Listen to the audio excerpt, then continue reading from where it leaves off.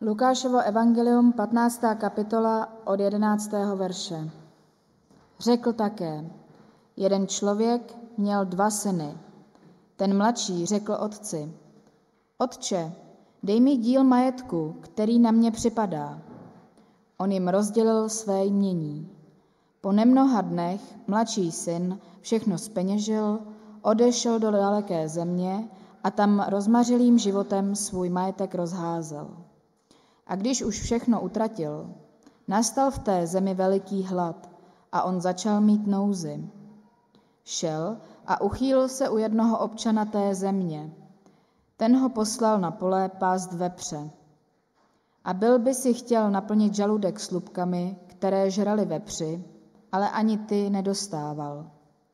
Tu šel do sebe a řekl, jak mnoho nádeníků u mého otce má chleba na zbyt a já tu hynu hladem. Vstanu, půjdu k svému otci a řeknu mu, Otče, zhřešil jsem proti nebi i vůči tobě. Nejsem už hoden nazývat se tvým synem. Přijmi mne jako jednoho ze svých nádeníků. I vstal a šel k svému otci. Když ještě byl daleko, otec ho spatřil a hnut lítostí běžel k němu, objal ho a políbil. Syn mu řekl, Otče, zhřešil jsem proti nebi i vůči tobě. Nejsem už hoden nazývat se tvým synem. Ale otec rozkázal svým služebníkům, přineste i hned nejlepší oděv a oblečte ho. Dejte mu na ruku prsten a obuv na nohy. Přiveďte vykrmené tele, zabijte je, hodujme a buďme veselí, protože tento můj syn byl mrtev a zase žije, ztratil se a je nalezen. A začali se veselit. Starší syn byl právě na poli. Když se vracel a byl už blízko domu, uslyšel hudbu a tanec. Zavolal si jednoho ze služebníků a ptal se ho, co to má znamenat. On mu odpověděl, vrátil se tvůj bratr a tvůj otec dal zabít vykrmené tele, že ho zase má doma živého a zdravého. I rozhněval se a nechtěl jít dovnitř. Otec vyšel a domlouval mu, ale on mu odpověděl, tolik let už ti sloužím a nikdy jsem neporušil žádný tvůj příkaz a mě si nikdy nedal ani kůzle, abych se poveselil se svými přáteli. Ale když přišel tenhle tvůj syn, který s děvkami prohýřel tvé jmění, dal si pro něho zabít vykrmené tele. On mu řekl, synu, ty jsi stále se mnou a všecko, co mám, je tvé. Ale máme proč se veselit a radovat, poněvadž tento tvůj bratr byl mrtev a zase žije, ztratil se a je nalezen.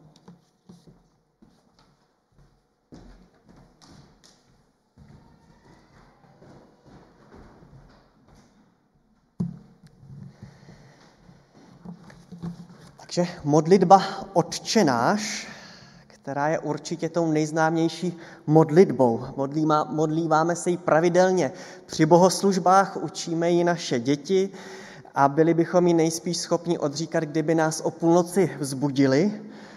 A myslím, že i lidé, kteří s vírou do styku moc nepřicházejí nebo vůbec, eh, nebo vůbec tak aspoň tuší, že nějaká taková modlitba existuje. Je nějak součástí všeobecného povědomí. A my se právě téhle modlitbě chceme až eh, do letních prázdnin eh, postupně věnovat. Verš po verši se zamýšlet nad jejím obsahem a učit se podle ní modlit jak to už četla Dáda, řekl mu jeden z učedníků, pane, nauč nás modlit se.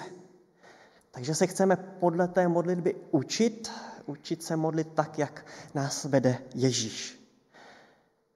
Tak vás to možná zaujalo, že bychom se potřebovali učit modlit. K čemu to? Já bych řekl, že určitě. Zvlášť ti, kdo nově uvěří, koktavě se o modlitbu pokouší a je to pochopitelné, vždyť se nikdy nemodlili, musí se naučit znovu, nebo poprvé možná Boha oslavovat, toho Boha, který byl ještě před chvílí tak nějak cizí, Takový člověk se ptá, kolika slovy by se měl modlit a jak dlouho, za co by se vlastně měl modlit a jestli veřejně nebo ve skrytu. Čas od času mě také požádá o modlitbu nějaký agnostik, který věří v něco, ale ještě neměl potřebu to ono nějak pojmenovávat. Sám neví, ke komu se vlastně modlí, na tož, co má v modlitbě říkat. Ale ocení, když ho modlitbou někdo provede. Ale myslím, že i my, celoživotní křesťané, se musíme modlitbě znovu a znovu učit a osvěžovat si její sílu. V prostředí naší církve a naší zbožnosti jsme možná naučeni spíše na spontánní modlitby, které vyslovíme tak nějak od srdce, které jsou intimní, autentické, správná slova ve správný moment, tak nějak Pánu Bohu předložit to, co právě prožívám a cítím, eh, jak duch dá. Říkáme někdy možná poněkud eh, přezbožně. A tak se můžeme možná podivit, že se modlitbu máme učit. Že ji máme říkat z paměti jako naučenou formuli, anebo snad dokonce papouškovat. Že by to nedělní společné říkání mělo nějaký větší smysl. Jenže ona ani ta spontánní modlitba není modlitba nějak libovolná. I ona má svůj obsah a svůj tvar a vychází z toho, co nás učí písmo. Podle vzoru žalmistů, podle vzoru novozákonních hymnů, prorockých volání, podle Ježíšovy modlitby. Ty všechny modlitby nás učí se modlit. A to ne podle svých představ a podle svých přání, ale podle Boží vůle. Vždyť naše fantazie je tak krátkozraká. Krátkozraká na to, aby si mohla představit velikost Boží lásky a milostrdenství. Kdybychom neměli písmo, kde se píše o Ježíši Kristu, těžko bychom si to uměli představit. Tak například, když dnes budeme mluvit o tom úvodním Otče, už je to překvapivé, že můžeme Boha oslovit tak osobně. Otče. Kde jinde než v písmu a kde jinde než u Krista bychom se tohle dozvěděli. Jak jinak bychom věděli, kdo je Bůh? Našli bychom odvahu modlit se tak intimně, Otče. Vodítko biblických modliteb nás učí obsahu. Jakým způsobem máme při modlitbě myslet? Na sebe? Jakým způsobem máme myslet na druhé, že je také máme zahrnout? Vede nás ke chvále Pána, učí nás děkovat a tak dále. A i naše spontánní osobní modlitba za naše potřeby, všechno vychází a rodí se z toho, co jsme se naučili v Božím slovu. A my se proto modlíme a chceme se modlit ve shodě s Boží vůlí. Někdy se modlitba přirovnává k rozhovoru s Bohem. Ono to úplně nefunguje tak, že by pán Bůh odpovídal jako v telefonu. On něco řekne, já něco řeknu, pak zase on něco řekne a já se zasměju. Pán Bůh k nám mluví skrze písmo svaté hledat jeho slovo k nám, slyšet, co nám chce říci, jak to s námi myslí, slyšet o jeho potěšení, slyšet jeho výzvy pro náš život. Všechno to se učíme právě v písmu. Tam čteme to boží slovo k nám a my pak na ně reagujeme a pak na ně skrze modlitbu odpovídáme a ta modlitba nás vede k činu. A ještě jinak o biblické modlitbě, včetně modlitby páně. Ta modlitba to je jako forma na bábovku. Když se jí modlíme a necháme se jí vést, tak nás tvaruje a proměňuje podle boží vůle, k božímu obrazu. Jak jednáme, co považujeme za hodnotné a krásné, tomu všemu dává ta modlitba tvar. Forma modlitby nám vtiskne podobu. Ta modlitba nepramení ve vlastních nápadech či hnutích, není příležitostí k sebeprosazení, ale je místem, jak se může boží vláda prosadit v nás. Vzpomeňme na Ježíše v Getsemane, když před Velikonocemi zápasil o cestu kříže. Otče, chceš-li, odej mi ode mne tento kalich, ale ne má, nýbrž tvá vůle se staň. Ježíš se nechával v té modlitbě formovat boží vůli. Biblická modlitba má svůj jasný zdroj.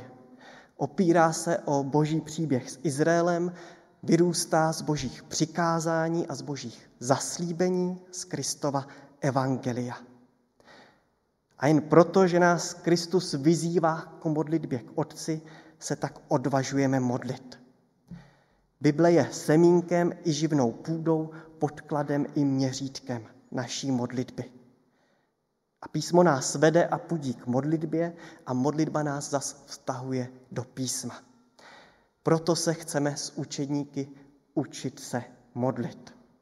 Aby nás skrze ní Pán Bůh tvaroval ke svému obrazu. A uvidíme, že taková modlitba mění životy, jak je to na tom plagátku, jak jsme nazvali tu dnešní sérii. Modlitba, která mění životy. A teď už pojďme k tomu prvnímu verši, k tomu krátkému Otče náš. Už tady z kraje cítíme, jak nás ta modlitba formuje. Učí nás, že nejpr, učí nás nejprve, že vůbec můžeme a smíme Boha takto osobně oslovit. Že nemusíme jen teoreticky spekulovat, jaký asi Pán Bůh je a jaký není. Že nemusíme mluvit o Bohu jen o jakési síle, která drží hmotu a vesmír pohromadě. Vždyť co by to bylo za svět, na který nesklíží boží otcovský zrak.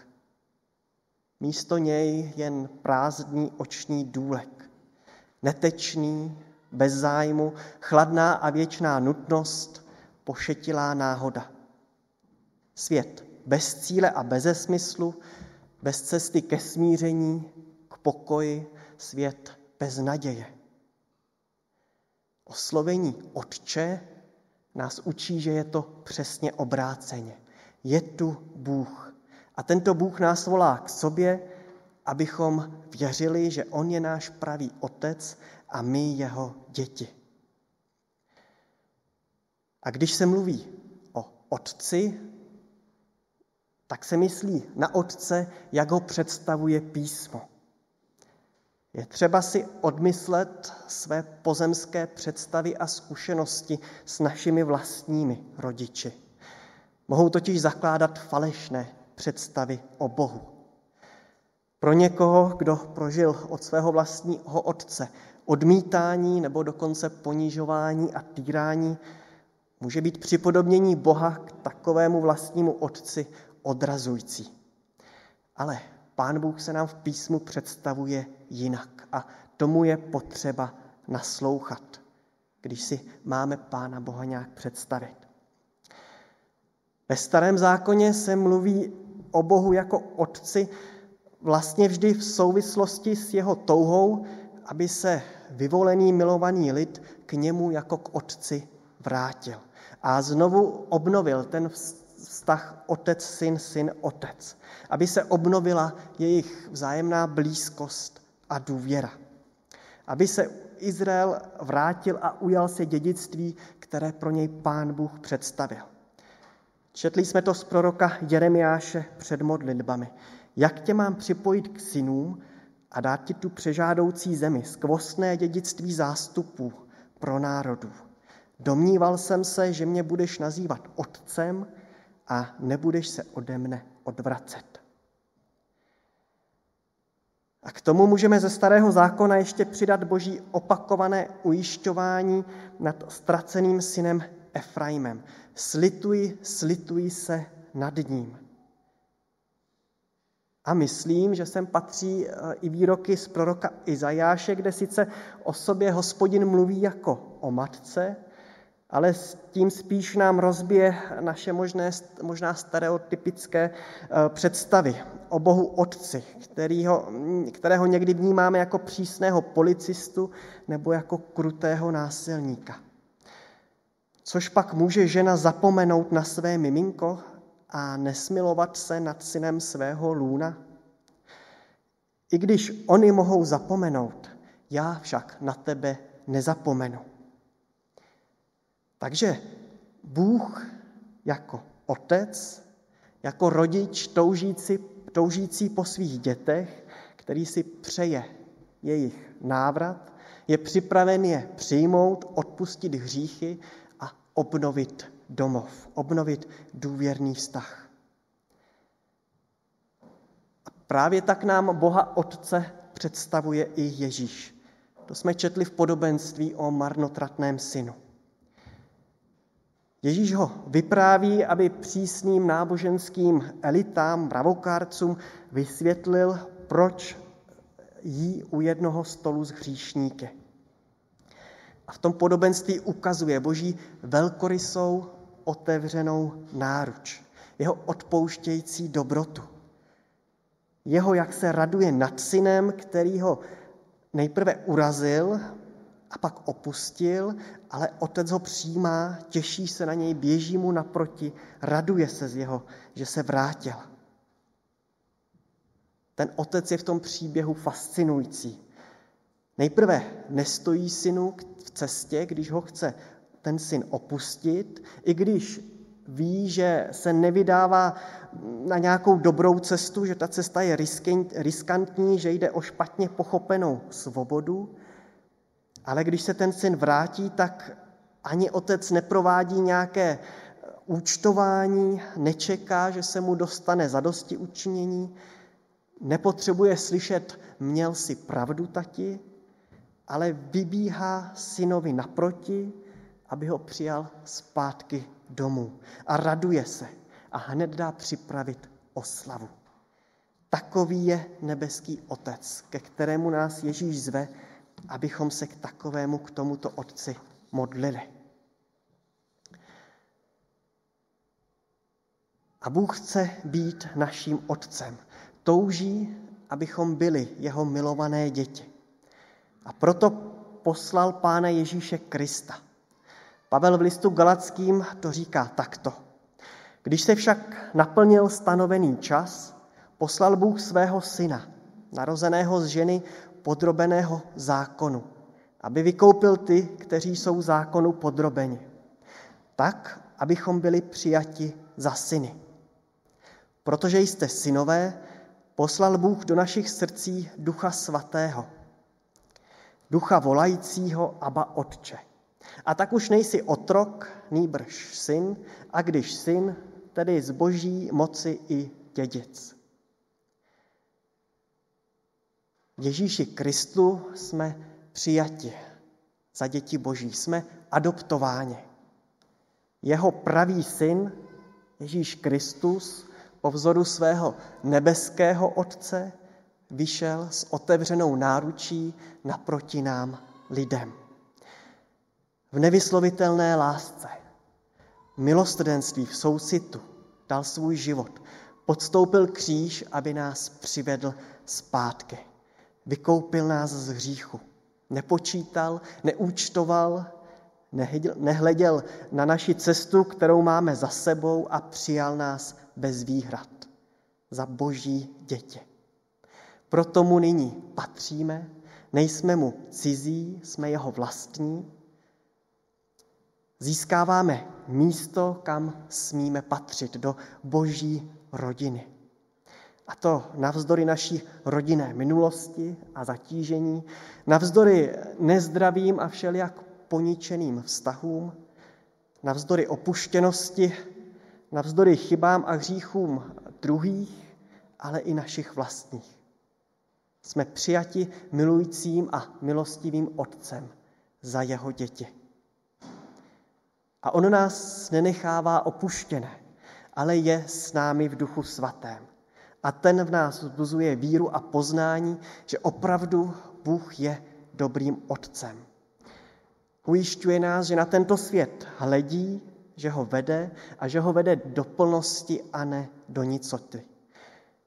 A šeptá to našemu srdci, když procházíme těžkými chvílemi, náročnými rozhodnutími, ujišťuje nás, že je s námi a že se mu můžeme svěřit a že mu můžeme vylít své srdce. Že jeho náruč je vždycky otevřená. A Pavel tam píše, když syn, tak dědic. Jsme přijati se vším všudy, i s nárokem na boží dědictví. Tím je boží království.